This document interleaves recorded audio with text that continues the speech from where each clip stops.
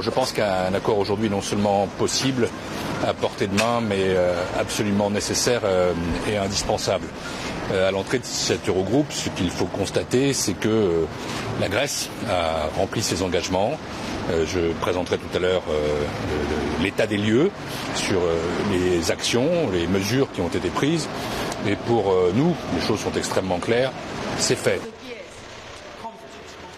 I hope that today we will take a very positive uh, step forward, uh, building on the huge effort that Greece has uh, put in. Uh, we will go into the final stage of the programme, uh, the final uh, year of the programme, preparing Greece for an exit of the programme. Es braucht keinen Kompromiss. Wir haben ja vor drei Wochen schon ein Ergebnis gehabt. Die Griechen wollten noch drei Wochen mehr Zeit. Und äh, für die Kommunikation, auch im eigenen Land, das ist alles auf einem guten Weg. Deswegen bin ich ganz zuversichtlich, dass wir heute zum Ergebnis kommen.